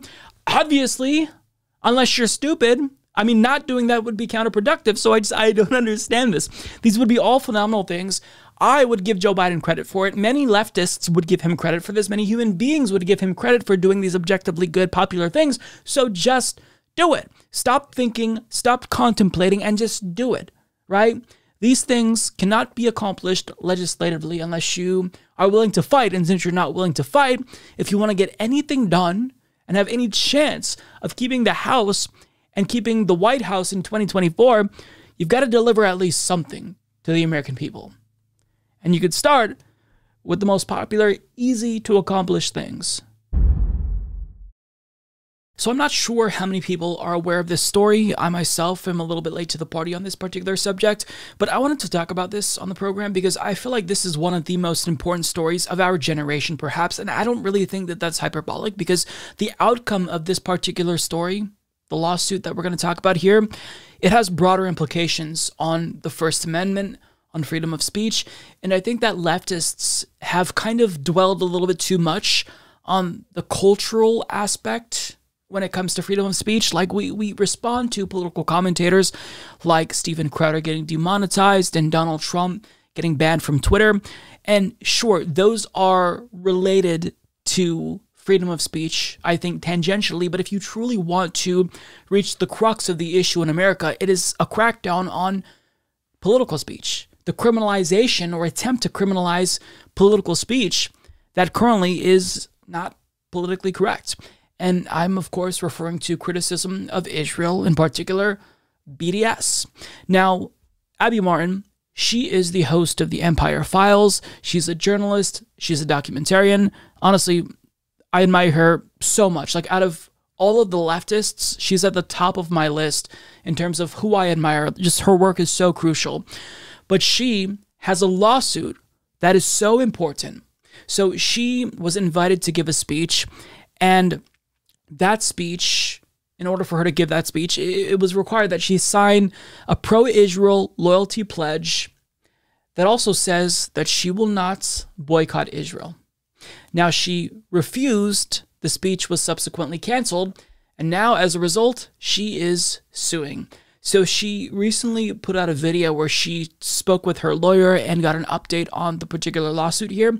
And I want to share some of the details here because this is so startling that every single person should be concentrating on this. Because what her lawyer says, the justification used to crack down on criticism of Benjamin Netanyahu's policies is honestly jaw dropping. What her lawyer says here it sent chills down the back of my spine because it is extremely troubling. In February of this year, I was supposed to give a keynote speech at Georgia Southern University. Before the event, I refused to sign a state mandated pledge to not boycott Israel in order to speak. My invitation was rescinded and the conference canceled as a result. I decided to sue the state of Georgia because signing an anti BDS clause in order to work in the state is a direct violation of my constitutional rights to free speech and to participate in political boycotts. Similar laws exist in 28 states across the country. You can watch the whole press conference with my lawyers, with CAIR, and the Partnership for Civil Justice Fund on our YouTube channel, which we'll link to below. Joining me now is one of the main lawyers to give an update on the case, Mara Hayden Hilliard of the Partnership for Civil Justice Fund. Thank you so much for joining me, Mara. So I first wanted to get an update on my lawsuit filed with CAIR and the PCJF. Back in February, when we had that press conference, the lawsuit was filed that day. Uh, can you give us any updates on what has happened, what they've done to respond legally since then? Since we filed the initial lawsuit, we have filed an amended complaint in this case, in which we've also been able to include some of the material that has come out since the initial filing that shows the communications going on behind the scenes in Georgia, where they were taking action to stop you from being able to speak in uh, service to the law that acts as a censor against those who support the BDS movement. The uh, defendants in this case have since moved to dismiss, which is what we expected. They've filed a motion to dismiss. We have filed an opposition to that. And there has now been an amicus brief that's been filed in support of your case by J Street and by a Jewish human rights organization of rabbis in the United States who feel very strongly that the First Amendment cannot tolerate this kind of censorship. And so they have joined in this effort because they don't believe that the BDS law is constitutional, regardless of their own feelings about BDS. Just days after this lawsuit was filed and widely reported in the press, Netanyahu tweeted this. He said, Whoever boycotts us will be boycotted. In recent years, we've promoted laws in most U.S. states which determine that strong action is to be taken against whoever tries to boycott Israel. So here you have a foreign country essentially threatening economic consequences to dictate the constitutional rights of Americans. Then you had Georgia state officials essentially um, citing, I mean, actually citing Israel Netanyahu as part of their defense for these laws. I mean, this is a free speech case under the U.S. Constitution. So why is it that you have a foreign leader, you know, making veiled threats? for economic consequences. Um, and then you have actual state officials in Georgia citing foreign officials as their reason to undermine the U.S. Constitution here. It's remarkable and fundamentally distressing that you have elected officials in the United States who actually are willing to sacrifice Americans' First Amendment rights, cherished First Amendment rights, at the request of a foreign country. And it's demanding basically that you and anyone else sign a loyalty oath to a foreign country in order to be able to contract with the state of Georgia. And the situation uh, is so extreme that, in fact, one of the state legislatures, Deborah Silcox, when they were seeking to amend the law and raise that limit to $100,000 to try and moot your case, um, actually said in a committee meeting at the state legislature that she had been asked to take that step by the Israeli consulate and apparently even brought a member of the Israeli consulate to speak in that meeting. Okay, so we're going to stop it right there. I want to direct you to the video itself, like the link on the Empire Files YouTube channel. I want you to go watch the full video there, um, give them the clicks and the views and the ad revenue.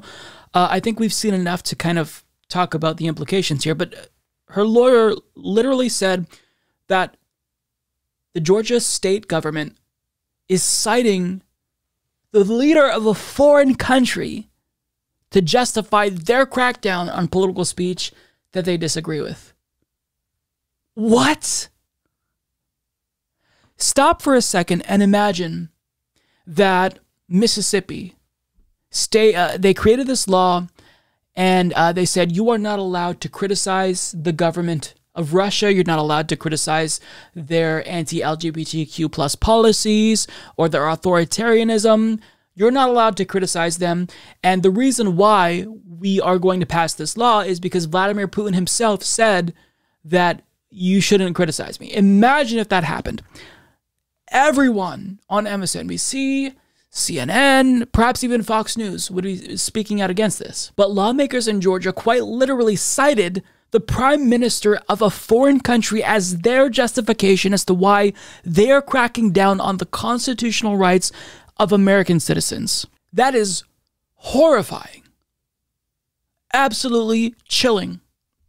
Now, her lawyer goes on to explain that um, the lawmakers in Georgia, once they saw that Abby Martin filed this lawsuit, they tried to change the law and make it more palatable because they know that this wouldn't hold up to a legal challenge.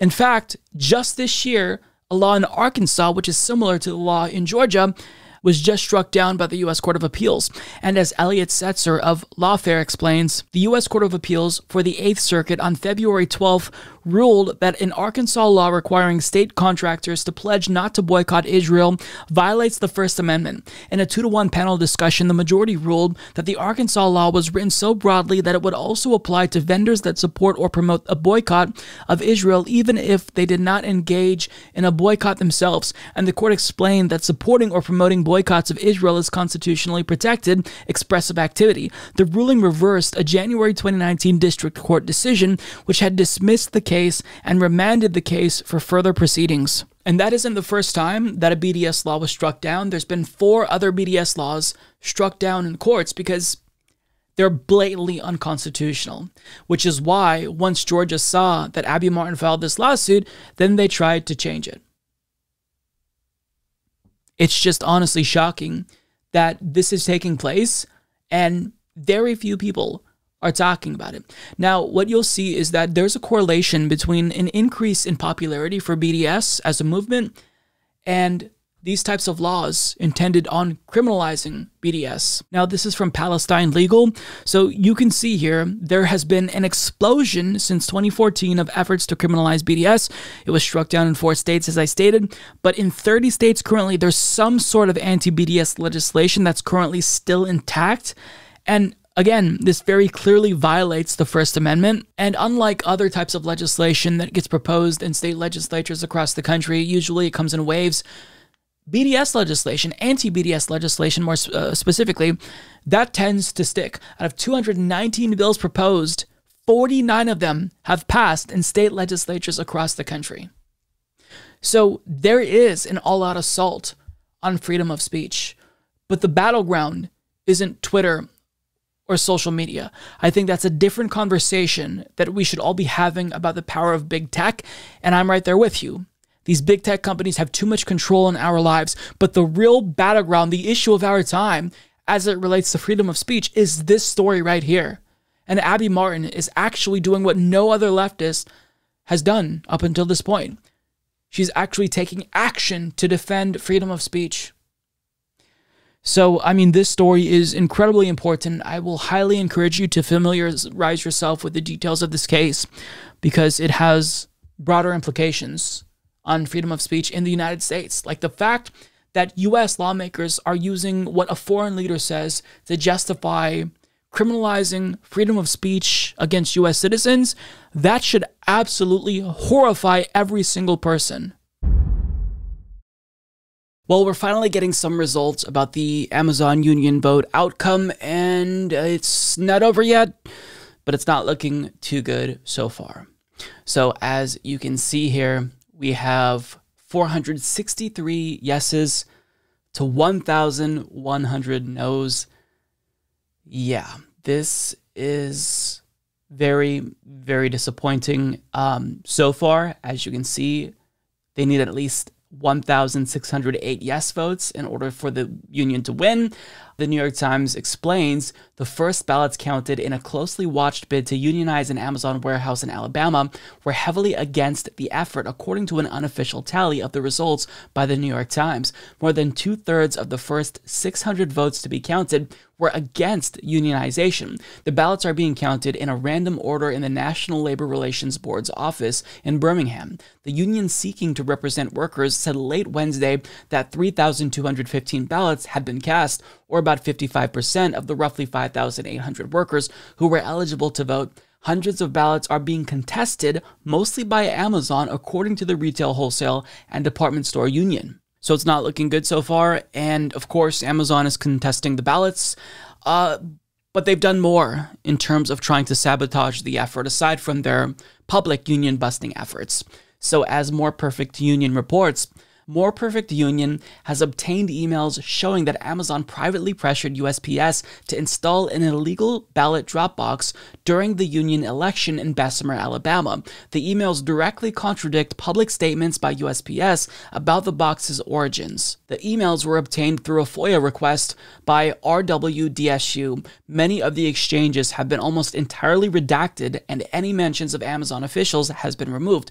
But here are some key findings that we have been able to glean from the FOIA request. First, we learn that beginning January 8th, one month before the union vote begins, Amazon repeatedly calls USPS's strategic account manager to say they want to install their own box. USPS team deliberates Amazon's request and says a private box may not be utilized. USPS then decides to install one for them. Amazon HQ would like to be kept in the loop. A USPS official informs the entire national and local team. We don't know for sure, but in a series of redacted emails, it appears that for over the next week, Amazon and USPS haggle over the acquisition of a box, what kind of box can be installed, and how quickly it can be done. On February 3rd, a USPS official sends an email stating that it is dedicating time and effort to physically altering a collection box that would meet Amazon's needs. USPS says it is hollowing out a box that would allow for bulk mail ballot collection. Amazon demands USPS install the box by February 7th, one day before the union vote was to begin. USPS says it is working with Amazon to place that box in a convenient location on the Bessemer campus. As we documented with Grim Kim, Amazon had the ballot drop box installed in violation of explicit guidance from the federal government. The box is installed the evening of February 9th, late at night, under cover of darkness. The mailbox was critical for Amazon's strategy because it wanted to pressure employees to bring ballots to work that they'd receive at home in the mail. By doing this, they could then pressure and monitor employees to submit no votes. So let's just say that if this vote were taking place in a foreign country, Latin America, the United States government would invade them for not being democratic enough. The entire process itself has been completely flawed. There's been zero transparency. There's been fuckery and shenanigans from Amazon. And um, if they win, it's because, you know, there's this power imbalance, and that's deeply frustrating. Again, this is kind of a developing story. I- I'm I'm reading you the details that just were released. But if this union were to succeed, it would be a game changer. It could catalyze some sort of domino effect where other Amazon warehouses across the country unionize and other companies perhaps uh, unionize. But this is why Amazon fought it tooth and nail. They know that this could open the floodgates and they don't want that to happen. So it's, you know, a little bit disheartening. We don't have all the votes yet. They're being counted randomly, but just off this preliminary results, Amazon is uh, looking poised to win. And that's because they have done so much to manipulate this effort. Really disheartening. You know, there was a chance that Labor could have at least a victory here when it comes to Amazon, but doesn't appear that that's the case. I hope that the situation changes, but right now, not looking too good for the Amazon union effort in Bessemer, Alabama. Believe it or not, there was a time when Howard Dean, former presidential candidate turned DNC chair, was actually fairly progressive, but now he is cartoonishly evil. And when he started to become evil is precisely when he became a lobbyist. Excuse me, he's not technically a lobbyist because he doesn't actually have to register as a lobbyist somehow, but what he does, it looks very, very conspicuously similar to what lobbyists do. So he's not necessarily technically lobbying for Big Pharma, but he is advocating on behalf of Big Pharma, and he's using his influence that he has within the Democratic Party to pressure Joe Biden to do something that isn't just stupid, but it's downright evil. He's trying to get Joe Biden to oppose releasing the intellectual property rights of the COVID 19 vaccines so that way other countries can manufacture generic versions of the vaccines. It's really the only chance that we have at vaccinating the entire human population before mutations and variations pop up. So this isn't just one of those things where, okay, well, you know what? I don't have to care about other developing countries and whether or not their people are vaccinated because I have my vaccine.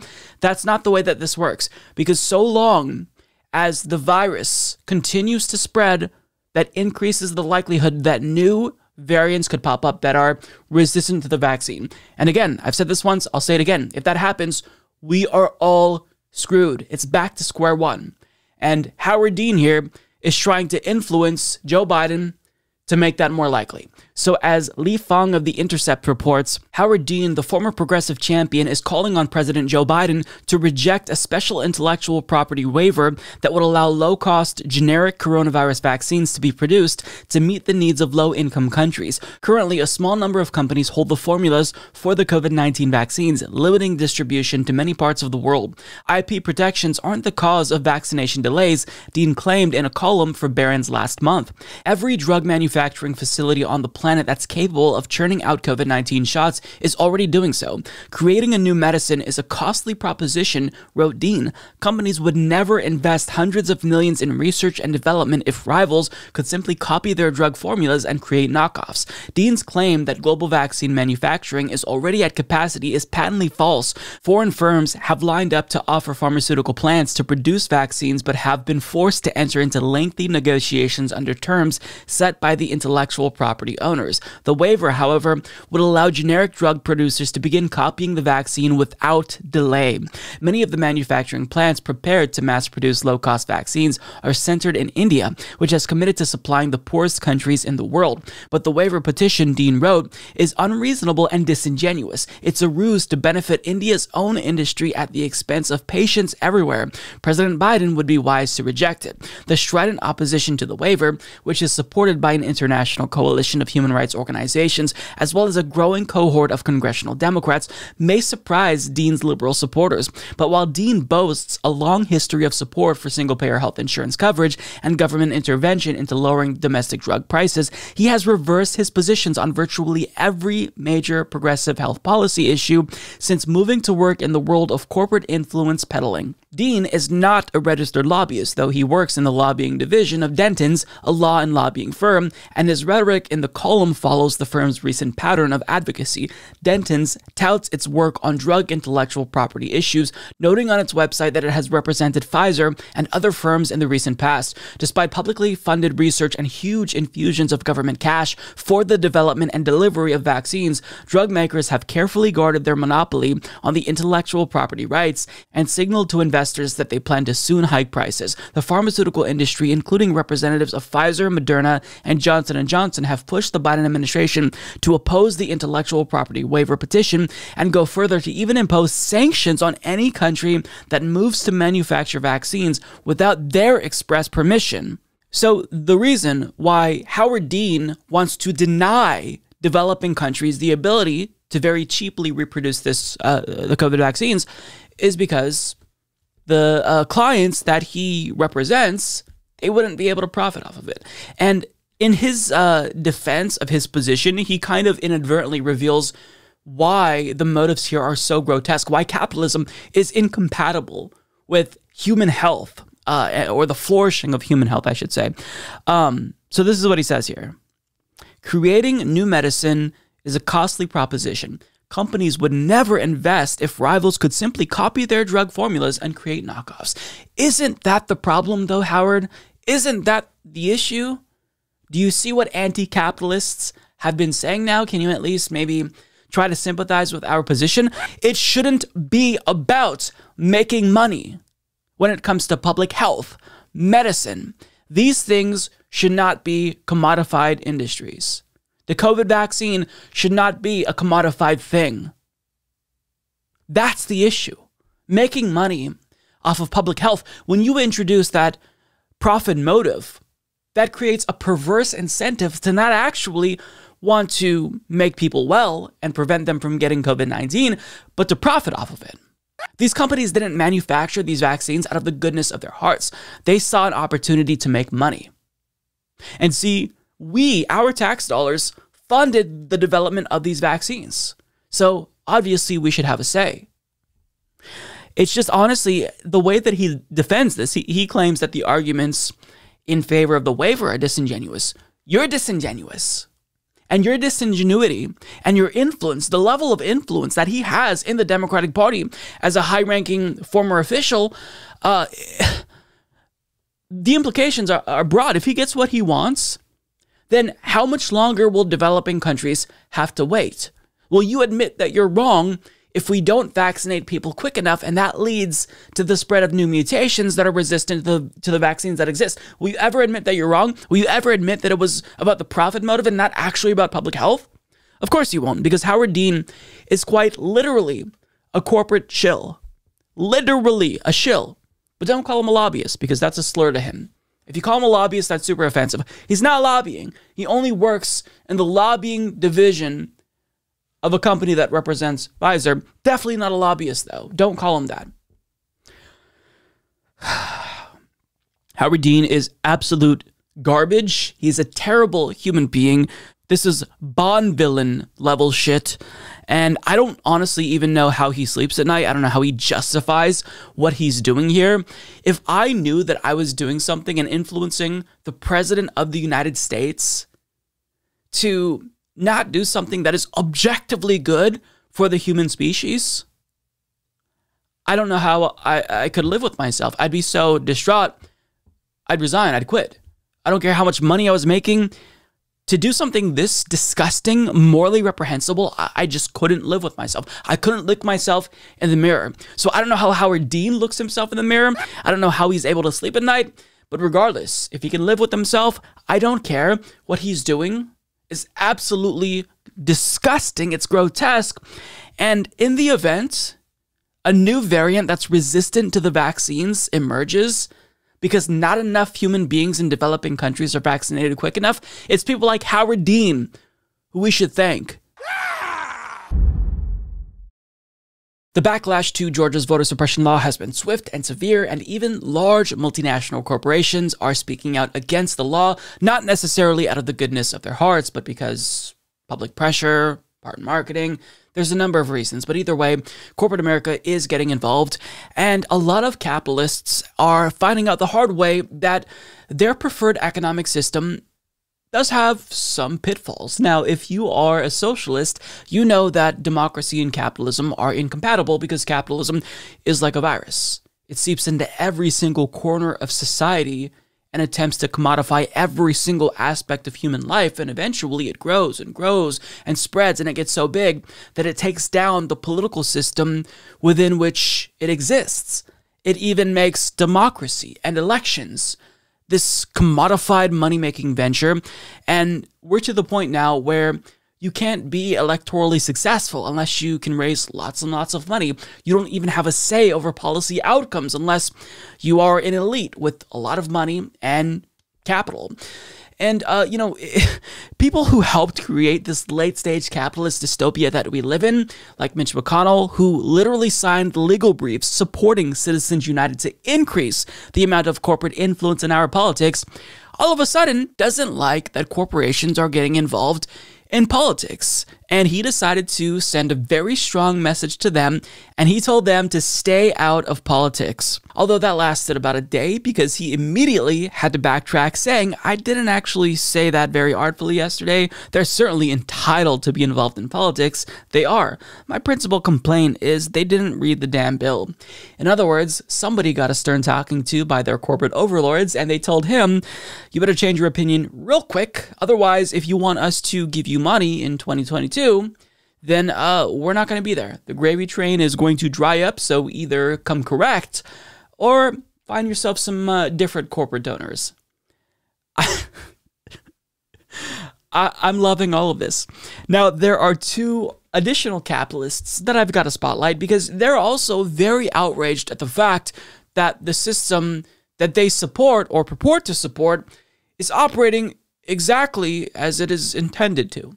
All right. On top of the MLB moving out of the All Star game out of Atlanta, dozens of craven CEOs have jumped onto the left's trash Georgia bandwagon. To me, it's shameful. But what if it became the new normal? We just accept it. JP Morgan CEO Jamie Dimon wants corporate America to get more involved in politics, writing this today. Companies like ours have an extraordinary capability to help to not just with funding, but with developing strong public policy. Oh, really? JP Morgan's going to run the country? Which could have a greater impact on society. Here to react is Dan Crenshaw. Dan, stand down as Congressman from Texas.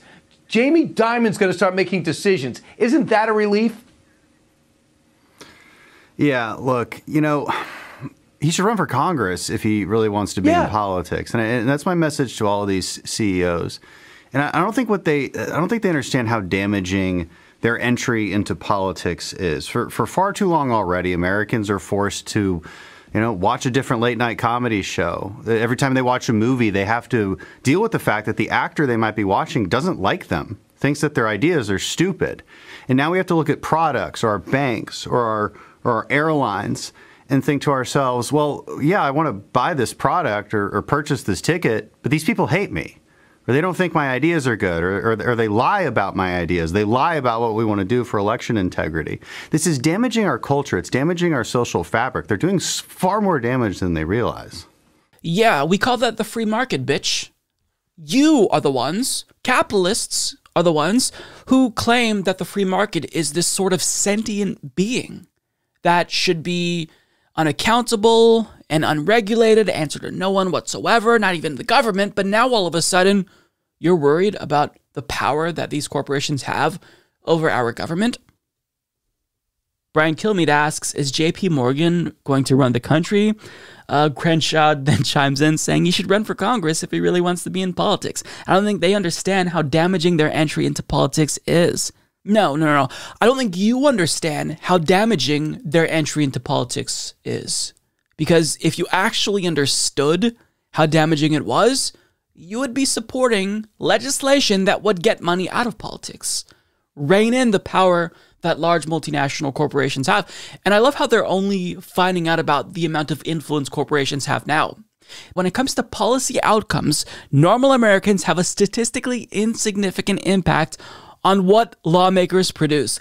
However, if you are an elite, a business interest, you actually have all the say in our political system. So this isn't a new thing. You just don't like that these corporations aren't doing what you want them to do because they know it is not socially acceptable to support voter suppression. But when they do actually take a political stand on an issue, it's a business decision. They're not doing it out of the goodness of their heart. They're condemning the voting law in Georgia because they're worried that there could be organized boycotts against them if they don't speak out against something that is very clearly an attempt to suppress the votes disproportionately of black voters in Georgia. Now, Dan Crenshaw, really, if he's concerned about money in politics, he should ask himself as a capitalist why do these large corporations have so much influence on our country in the first place, on our government in the first place? They fund politicians that in turn do the bidding of the corporations that helped them get elected. Dan Crenshaw is also guilty here. So if you truly want to complain about corporate power in America, your words are meaningless as a lawmaker if you're not actually taking action. Now, there's one more clip that I want to show you here. Um, so he very clearly is just going to complain about corporate power in politics, not going to actually take meaningful steps to curtail the influence that they have. Uh, but he's also going to say that this is really a specific kind of politics that we're seeing. He's going to misrepresent a word uh, that he obviously doesn't understand. Uh, but I'll tell you why what he's saying here is a little bit ironic and hypocritical. United Airlines wants to get a little bit more woke. They want to go out and say that 50% of their, the new hires from here on in are going to be women or people of color. United Airlines is officially stating this. They're planning to train 5,000 new pilots in a new pilot training program by 2030, of which at least half will be women uh, and people of color. What do you think about this idea? Look, I think just about every passenger that gets on a plane thinks to themselves, I hope the pilot is qualified and can take off and land the plane safely. Look, if they want a virtue signal, that's fine. You know, what, what really pissed me off about United was the way they lied about uh, the, the, election integrity reforms that we're trying to make in places like Georgia and, and Texas. They lied about it. They insinuated that these that these were voter suppression laws. Now, of course, that's not true. Clearly, they didn't read it. And again, they're venturing into territory that they don't understand um, that they that they don't know, that they know nothing about, um, and in an attempt to what? this is what I call the phenomenon that that's going on. It's it's progressive fascism, because because what is fascism? Well, it's the it's the it's the regimentation of the economy, of society, and it's the forced suppression of of your opposition. That's what's happening right now. The Democrats have successfully um, captivated the institutions, you know, pop culture, Hollywood, our education institutions, and now our corporations into their own woke agenda. This is fascism, right? And they use cancel culture as, as a tool to impose their fascism on us. And so, so they're always using this, these anti, this anti-fascist labeling against the right, but they're the ones who actually engage in the tactics. And it's time we expose that. That's really what's happening here, and we should see it for what it is. Look, if they if they want to if they want to hire based on quotas and virtue signal to us and, and imply that that that people didn't have these opportunities to begin with, it, fine. But don't lie about other policy. Okay, that that's what I really have a problem with. How are conservatives being forcibly suppressed because the MLB is choosing to move to a different state? How is that suppressing opposition? And he says this is progressive fascism, as if these corporations are progressive. Dan Crenshaw is either dumb or disingenuous, but what he said there is extremely stupid. And, you know, I've got to ask Dan Crenshaw this because if we actually accept his argument, if we assume that what he's saying here is true, then he needs to admit he's a fascist. because uh, in response to conspiracy theorist Paul Joseph Watson pointing out on Twitter that Dan Crenshaw suggested that criticism of Israel should not be protected under the First Amendment, Dan Crenshaw responded by saying the question wasn't about criticism, but the BDS movement, i.e., economic warfare against Israel. The U.S. government can choose not to do business with BDS supporters. So hang on a second. According to Dan Crenshaw, when the government chooses who it does business with based on the political uh, ideology of the business in question, that's perfectly justifiable and reasonable. But when a private corporation chooses where it does business based explicitly on the policies of said state, that's fascism. Okay, well, admit that you're a fascist. Admit you're a fascist. You are advocating by your definition of fascism for fascism by saying that the US government can choose to not do business with supporters of BDS. And understand that this is a capitalist who's making this case. Shouldn't you be the one who argues that private corporations can do whatever they want? They could take their business wherever to whatever state? That's the free market, but you're claiming that this is forcible suppression of conservatives. And you even go so far as to argue about how terrible it is uh, in that first clip that uh, you know you have to you have to watch these movies and you just know that these liberals in these films acting they they think that your ideas are stupid. How terrible! This is definitely tantamount to forcible suppression. And I love how he's just outraged that Delta is misrepresenting the bill. How could they call this a voter suppression bill? Hmm, I don't know. Did you read the bill, Dan? Did you actually read the bill? I don't know, criminalizing giving food and water to people standing in line, I'd call that voter suppression because we want to encourage them to stay in line to vote. Do we not? Removing the amount of drop boxes that exist, leading to longer lines. I mean, if lines are longer, I'd call that voter suppression, right? I mean, he knows what he's doing.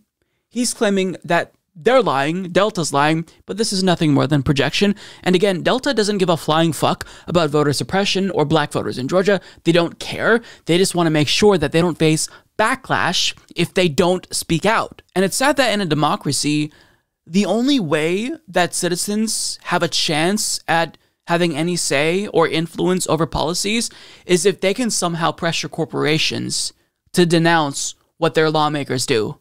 If you actually, if lawmakers like you, Dan Crenshaw, actually listen to the people, perhaps they wouldn't be tweeting at Coca Cola to take action in Georgia. If you all just listened and did what the American people wanted and not what your corporate donors want, I mean, they wouldn't have a say. But we have no say. 60 to 70% of Americans, depending on the polls, support Medicare for all, but yet, because corporate shills like Dan Crenshaw take money from the private insurance industry, well, we don't get it. We want to increase the minimum wage to $15 an hour.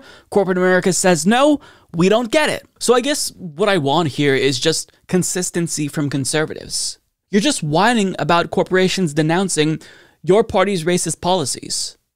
But be consistent. This is the free market. You're not proposing anything to curtail the power of these corporations on our democracy. So I can't help but think that maybe you should probably shut the fuck up here because if you're not proposing a solution, if you're just whining, then I don't know what to tell you. You're a lawmaker. If you don't like corporate power, do something to rein them in. But then that go against your uh, capitalist economic philosophy. So you're kind of uh, backed into a corner here. Well, folks, that's all that I have for you today. Thank you so much for tuning in. If you've made it this far in the program, as usual, I want to thank everyone that makes this show possible, all of our Patreon, PayPal, and YouTube members for helping us not just to survive, but thrive as well. You all are absolutely just so awesome. And I also want to send a special shout out to all of our newest subscribers over at twitch.tv slash humanist report. Uh, in the first day after I streamed uh, when I became an affiliate, we got 18 tier one subs. How cool is that? I'm still learning how Twitch works, but I'm I'm just thoroughly enjoying the platform and the little community that we've built over there, and I hope that you'll join it as well. So, anyways, uh, that's all that I've got for you today. Uh, I will see you all next week. My name is Mike Figueredo. This has been the Humanist Report. Take care, everyone.